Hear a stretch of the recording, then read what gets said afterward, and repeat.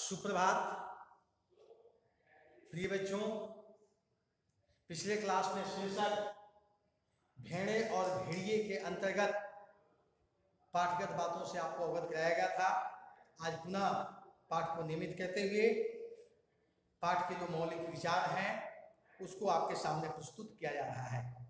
पिछले क्लास में मैंने आपको बताया था कि जो भेड़िया है संत का रूप धारण कर कर करके वह वेशभूषा से वह परिमाजित है। उसके आचरण भी संत की भांति हैं।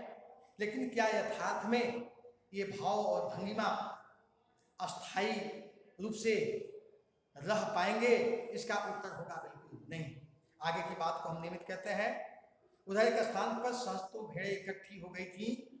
उस संत के दर्शन के लिए जिसकी चर्चा बूढ़े सियाल ने फैला रखी थी। बूढ़े सियाल ने ऐसी चर्चा की थी कि एक संत का दर्शन होगा, उनके जो वक्तव्य है, विचार है, उसको सुन करके आप लाभान्वित होंगे। इस प्रकार से इन बातों को सुनने के लिए, संत के विचारों को सुनने के लिए हज़ारों की संख्या में भेड़ इकट्ठी हो गई थी। चारों सियाल भेड़िए की जय बोलते हुए भेड़ों के झुंड के पास आए। जो भेड़ थे, भेड़ भेड़ जो थी, उनके पास जयकारा लगाते हुए, जैसा कि हम सभी देखते हैं, नेताओं को बीच में लेकर के या यत्र तत्र जयकारा लगाते हुए, उनका जिंदाबाद का नारा लगाते हुए, उनको अत्यधिक उत्साही बनाने का प्रयास करते हैं। ठीक उसी प्रकार से यहाँ पर भी उस संत की जयकारा लगाते हुए चारों जो सियार थे, उन भेड़ों के झुंड के पास आ गए। बूढ़े सियार ने एक बार ज़ोर से संत भेड़िए की जय बोली। भेड़ों में पहले से यहाँ वहाँ बैठे सियारों ने भी जय ध्वनि की।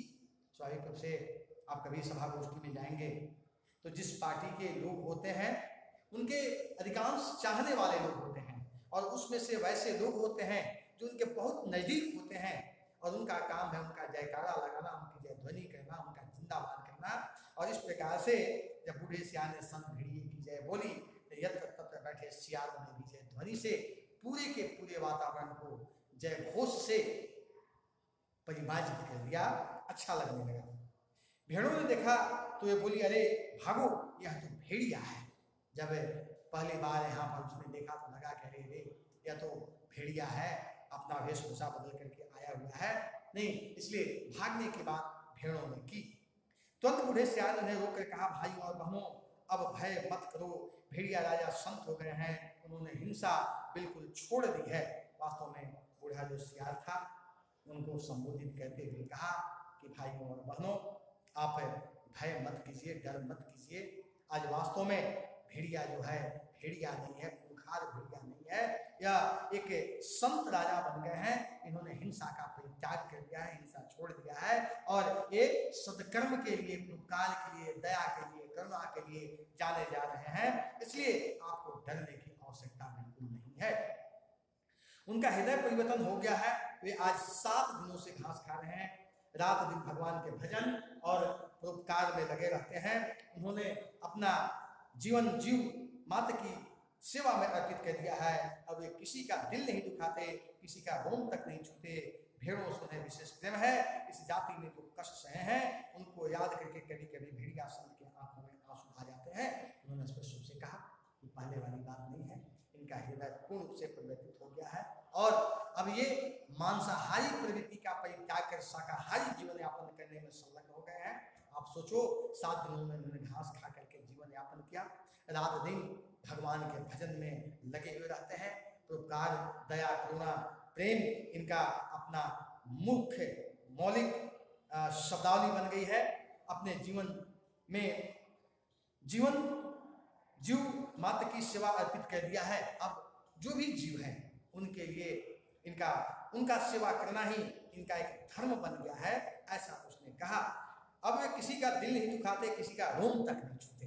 रोम बाल पहले वे जीते, उनको मार देते थे, काट लेते थे और खा जाते थे। आज वैसी बात नहीं है। ये किसी जाति को कष्ट देने के लिए तत्पर नहीं है। नहीं, भेड़ों से उन्हें विशेष प्रेम है। इस जाति में जो कष्ट सहे हैं, उनको याद करके कभी कभी भेड़िया संत की आँखों में आँसू आ जाते हैं। स्वाभाविक है। भेड़ भेड़ियों के द्वारा अत्यधिक प्रताड़ित है। उन चीज़ों को याद करके काफ़ी दुखित होते हैं, अंतर मन से इनके दुख बढ़ जाते हैं। कभी कभी उनके आँखों में आँसू की अविरल धारा प्रवाहित होने लगती है। उनकी अपनी भेड़िया जाति ने जो अत्याचार आप पर किए हैं, उनके कारण भेड़िया संत का माथा लज्जा से जो झुका है, सो झुका हुआ है। परंतु अब वे शेष जीवन आपकी सेवा में लगाकर तमाम पापों का प्रायश्चित करेंगे। वास्तव में इन्होंने जिस प्रकार से सेवा करने का भाव अपने आप में स्थापित किया है, वह अनुकरणीय है। ये जानते हैं, इन भेड़ों पर बहुत बड़े अत्याचार हुए हैं। उस अत्याचार का प्रायश्चित कैसे हो, कैसे उस चीज़ से निजात पाया जाए, इसकी पूरी व्यवस्था इनके मन में आ गई है। आज सवेरे की बात है, एक मासूम भेड़ के बच्चे के पाँव में कांटा लग गया तो भेड़िया संत से, दांतों से निकाला, दांतों से, वह बेचारा कष्ट चल बसा तो भेड़िया संत ने सम्मान पूर्वक उसकी अंत्येष्टि क्रिया की। अब सर्वस्व, अब वे सर्वस्व त्याग चुके हैं।